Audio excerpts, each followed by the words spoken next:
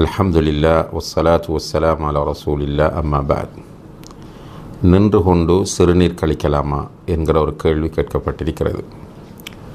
அன்புள்ள சகோதர சகோதரிகளே சிறுநீர் கழிக்கிற விஷயத்தில் நபிகள் நாயகம் சொல்லல்லாஹு அலஹி வசல்லம் அவர்கள் உட்கார்ந்து சிறுநீர் கழிக்கக்கூடியவர்களாக இருந்தார்கள் என்கிற செய்தியை அன்னை ஆயிஷா ரதியல்லாஹு அன்ஹா அவர்கள் அறிவிக்கிறார்கள்.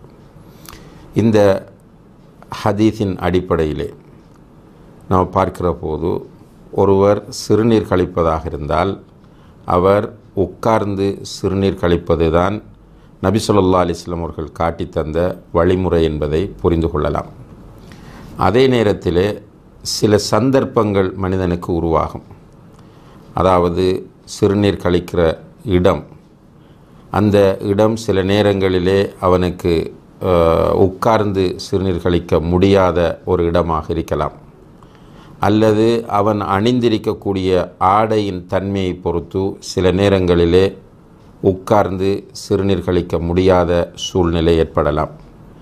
இவ்வாறான சந்தர்ப்ப சூழ்நிலைகளில் ஒருவர் நின்று கொண்டு சிறுநீர் கழிப்பது என்பது மார்க்கத்திலே அனுமதிக்கப்படுகிறது. ஆனால் வளமையாக நின்று கொண்டு சிறுநீர் கழிப்பது என்பது விரும்பத்தகாத ஒரு செயல் என்பதை நாம் புரிந்து கொள்ள வேண்டும்.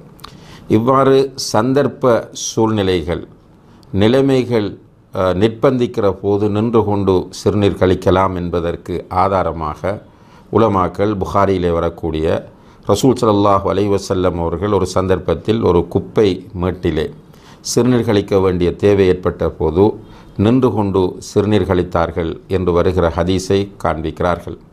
இந்த நிலை ஒரு சந்தர்ப்பத்தில்தான் ஏற்பட்டது என்பதையும் உலமாக்கள் அங்கே சுட்டி காட்டுவதை நாம் கவனத்திலே கொள்ள வேண்டும். இந்த நிகழ்வின் மூலம் நபி சொல்லா அலிஸ்லாம் அவர்கள் இந்த சமுதாயத்திற்கு அவ்வாறான ஒரு சூழ்நிலை ஏற்படுகிற போது நின்று கொண்டு சிறுநீர் கழிப்பது ஹராம் அல்ல. என்பதை உணர்த்துவதற்காகத்தான் அவ்வாறு செய்தார்கள் என்பதையும் உலமாக்கள் இந்த ஹதீஸை பற்றி பேசுகிற போது நமக்கு உணர்த்துகிறார்கள்.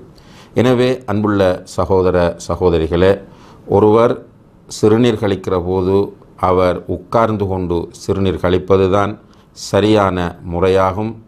சந்தர்ப்ப சூழ்நிலைகள் நின்று கொண்டு சிறுநீர் கழிக்க வேண்டிய ஒரு நிலைமை ஏற்படுத்துமாக இருந்தால் அவ்வாறு நின்று கொண்டு சிறுநீர் கழிப்பதிலே குற்றமில்லை என்பதை நாம் புரிந்து கொள்ள வேண்டும். ஒல்லாஹு சால்.